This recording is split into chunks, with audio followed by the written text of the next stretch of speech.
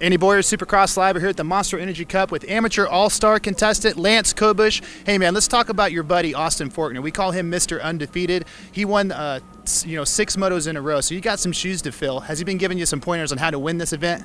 Uh, yeah, definitely. We've been kind of working together, and um, you know, as of right now, I'm undefeated too yeah. in the super mini class. So hopefully, I can keep it going. But uh, you know, we're just looking for good starts, consistent fast laps, and uh, you know, just have a good time. We're in Vegas, so it can't be too bad.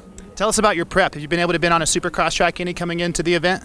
Uh, yeah, definitely. I've been down at RTC Robbie Reynolds in Oklahoma, and I've been riding Supercross down there with Benny Bloss and you know some pretty fast guys, and then came out to California for a little bit, and uh, so I'm feeling good, pretty confident with myself and my skills on the Supercross, and so it's really good. I'm excited. Well, this class is stacked. It's A and B riders, so you know there's a little bit of beef there. You, I know you want to beat the A riders, and they they don't want a B rider to beat them. So how's that going? Who are you looking at as your main competition?